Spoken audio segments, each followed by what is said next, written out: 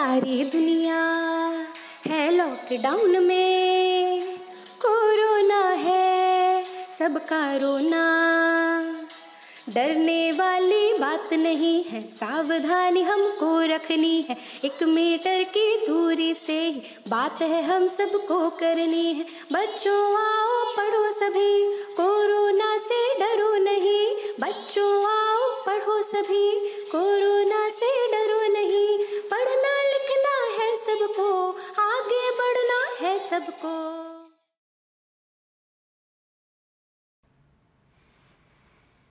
Hello children I am Sonal Asthana an English teacher of G H S Amethia Salempur Kakori Lucknow children today I will teach you the second part of the chapter the fun they had written by Isaac Asimov.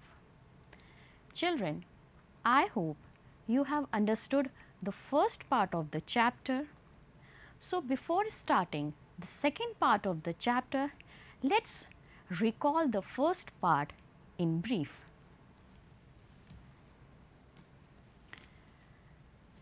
Now, children, first question is what type of book did Tommy find? Yes, Tommy found a very old book printed on the paper. Now, the next question is where was he reading the book? So, the answer is he was reading the book in the attic. Now, the third question is who corrected the speed of the mechanical teacher of Margie? The county inspector corrected the speed of the mechanical teacher of Margie. He found some issues in the programming of the geography section of the mechanical teacher of Margie. Its speed was disturbed and became fast. So, the county inspector corrected the speed of the mechanical teacher of Margie. Now, children, Next question is what type of old schools did Tommy mention in the chapter? So, children in the chapter Tommy mentioned about the schools of centuries ago where teachers were not the mechanical teachers, but human being. In this picture also you can see a man is teaching the children. So, the teachers were not the mechanical teachers, but human beings and all the children studied together in a classroom and they could help each other with their homework. So, children today we will study the second part of the chapter The Fun They Had written by Isaac Asimov. Here the author has described that through the book Tommy came to know that during the old days school teachers were human beings instead of machines. So, children today we are going to study the paragraph from Tommy looked at her with very superior eyes to she was thinking about the fun they had. Okay, now children about the lesson part 2. In this part of the chapter, Tommy found that the schools of centuries ago had human beings as teachers instead of machines. Schools of the old times had a special building. All the children went there to study. Children of the same age studied in a common class. They had common study material. They played together and helped each other with the homework. Margie, while sitting before the television screen, is thinking about the fun children had in the old kind of schools. Now children, I am going to read the paragraph. Now pay attention. The fun they had, part 2. Tommy looked at her with very superior eyes.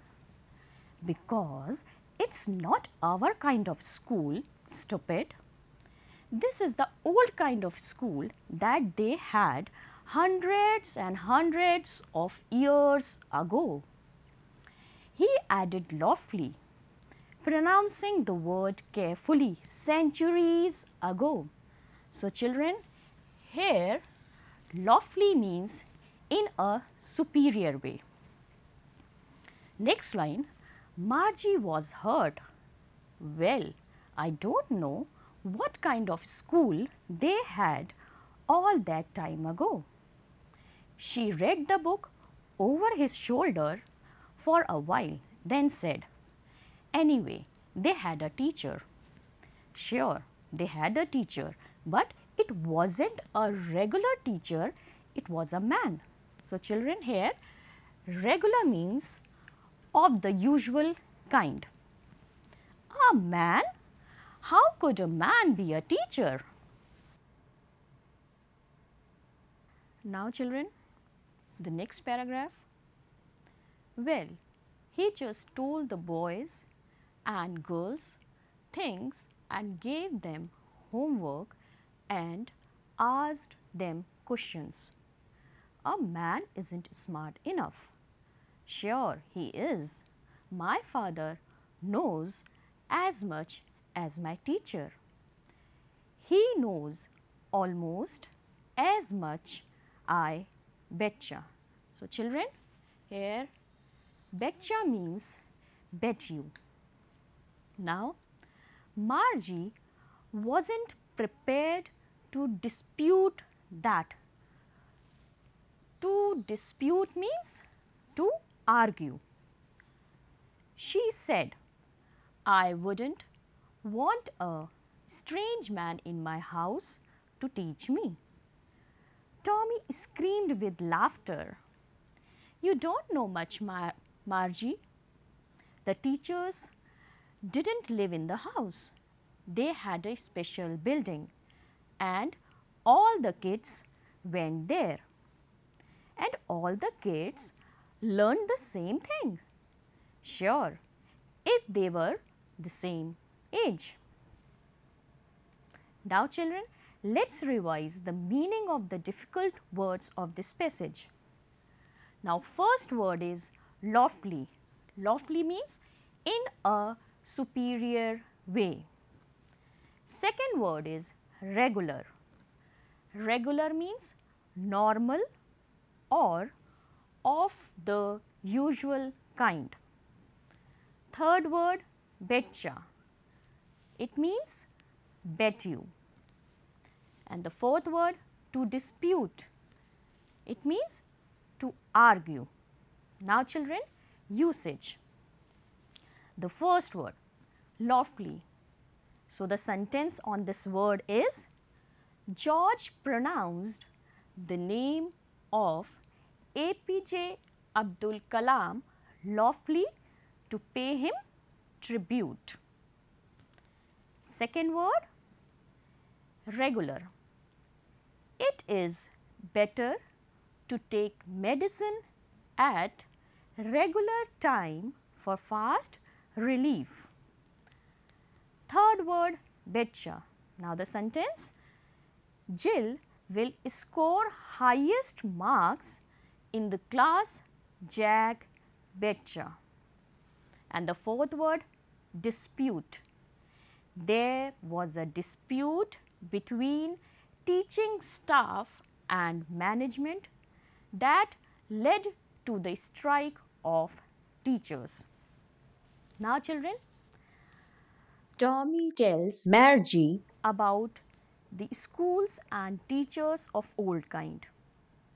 Teachers of old kind of school were human beings instead of machines who gave homework and asked questions from the students. Those teachers did not live in the houses, rather they went to a school or a special building where kids of same age and class studied the same content. Now children, let us discuss the question and answers based on this paragraph. Now question number 1. How does Tommy describe the old kind of school? Now the answer is Tommy described that the old kind of school had a special building and all the kids went there for study.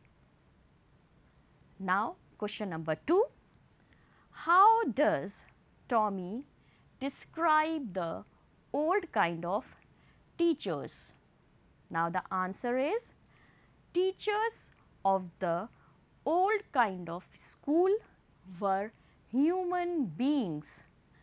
These teachers gave homework and asked questions from kids.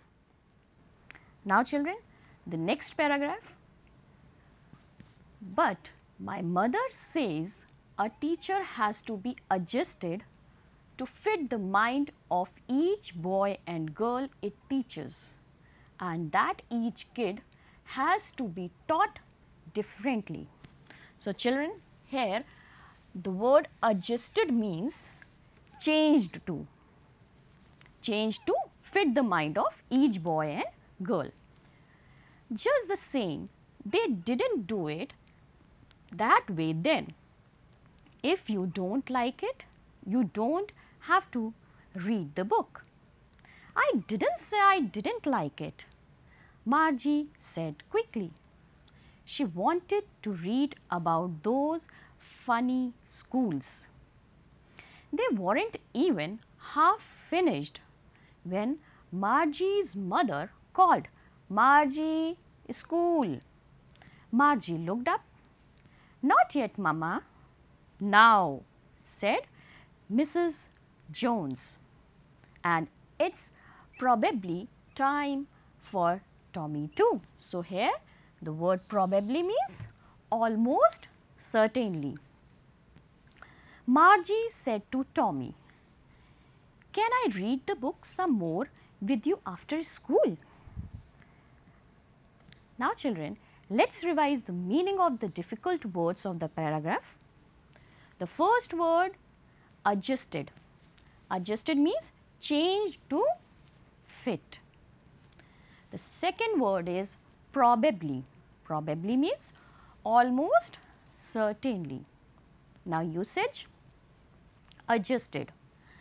The English teacher adjusted his teaching style to suit the village students. The next word probably.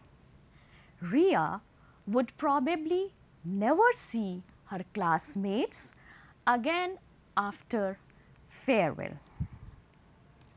Now children, Margie is surprised to know that in the old days, the kids of same age learned the same thing.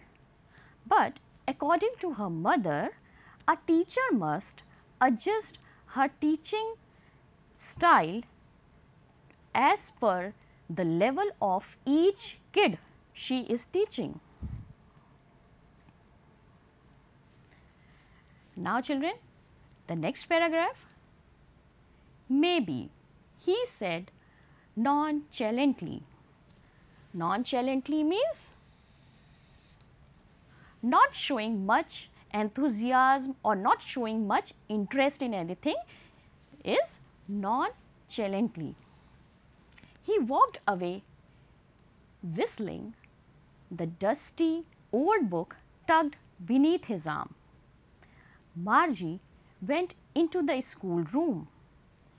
It was right next to her bedroom and the mechanical teacher was on and waiting for her. It was always on at the same time every day except Saturday and Sunday because her mother said little girls learned better if they learned at regular hours. The screen was lit up and it said, Today's arithmetic lesson is on the addition of proper fractions. Please insert yesterday's homework in the proper slot. Now, the next paragraph. Margie did so with a sigh. Children, sigh means a deep audible exhalation. She was thinking about the old schools they had when her grandfather's grandfather was a little boy. All the kids from the whole neighborhood came, laughing and shouting in the schoolyard, sitting together in the classroom, going home together at the end of the day. They learned the same thing so they could help one another with the homework and talk about it. And the teachers were people. The mechanical teacher was flashing on the screen. Flashing means a brief bright light. When we added fraction 1 by 2 and 1 by 4, Margie was thinking about how the kids must have loved it in the old days. She was thinking about the fun they had. Now children, again let us revise the meaning of the difficult words. Nonchalantly, yes nonchalantly, not showing much interest or enthusiasm. Next word is sigh. Sigh means a deep audible exhalation. Next word is flashing. Flashing means a brief bright light. Now usage number 1 is nonchalantly. Lisa nonchalantly gave her favorite dress to her sister. Next word sigh. After submitting the project to his teacher, John took a sigh of relief. And the third word flashing. The thief was woken up by police sirens and the flashing of lights. So, children, Margie's classroom was next to her bedroom. She has regular hours and days for school because her mother believed that kids learn better if they have regular hours for study. So, before the television screen, Margie was thinking about the fun the kids had in the old days. They played together, they studied together and as they have common study material, they could help each other in studies. Now children, let us discuss the question and answers based on this paragraph. Question number 1. Where was Margie's school? Did she have any classmates? Now the answer is Margie's school was next to her bedroom. She did not have any classmates. Now question number 2. What subjects did Margie and Tommy learn. Margie and Tommy learned all the subjects. Question number 3. Did Margie have regular days and hours for school? Yes, Margie had regular days and hours for school because her mother believed that kids must be taught at regular hours for better learning. And the fourth question is why did Margie think the old kind of school must have been fun? Margie thought the old kind of school must have been fun because students studied together, loved and played together, went home together after school and helped each other in studies as they had common study material. Now children, let us revise what we have studied. Now question number 1, state whether the following statements are true or false. So children, these are the statements and you have to tell whether these statements are true or false. Now question number 1, the teachers of the old kind of school were human beings? Yes. Now the answer is true. Now next, Margie's school was in a separate building? Answer is false. Margie's school was next to her bedroom. Third, the mechanical teacher could work throughout the week. Answer is false. The mechanical teacher is off on Saturday and Sunday. Fourth, Margie was thinking about the fun the kids had in the old kind of school? The answer is true. And the fifth, in the old schools, all the kids of same age and class were taught the same content. Yes, the answer is true. Now children, the next question Complete the following spellings learned in the chapter. Children, for this I will give you clues by telling its meaning. Now you guess which is that word. First word, its meaning is not showing much interest. So, which is that word? It is non-chalently.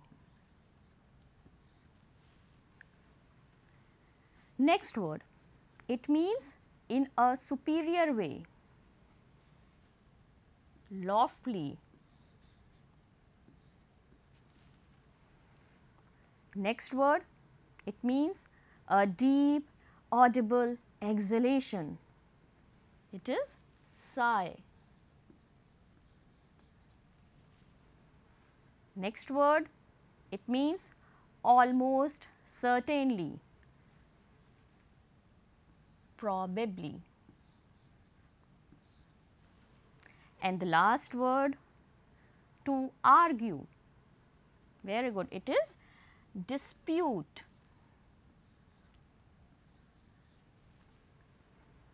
Now children, this is your homework and I hope you all will do it. Answer each of the following questions in two or three paragraphs, 100 to 150 words. Question number 1. Do you agree with Margie that schools today are more fun than the school in the story? Give reasons for your answer. And question number 2. What are the main features of the school rooms that Margie and Tommy have in the story? At the end children, I will summarize this story that this story discussed about the schools of 22nd century. According to the author, the school will be set up in the homes and kids will not be required to visit the common school for study. This story was written when computers were not invented, but author has visualized a kind of school where learning will be done through computers. So, children this was all for today. I hope you have enjoyed the chapter. Stay home, stay safe and happy learning. Children, you can refer to Diksha Digital Infrastructure for Knowledge Sharing mobile app from your mobile. Diksha mobile application can be downloaded through Play Store or iOS. You can also subscribe the YouTube channel of Uttar Pradesh Madhyamik Shiksha Vibhag. You can directly solve your queries from your teachers through e-learning or virtual classes. Thank you very much.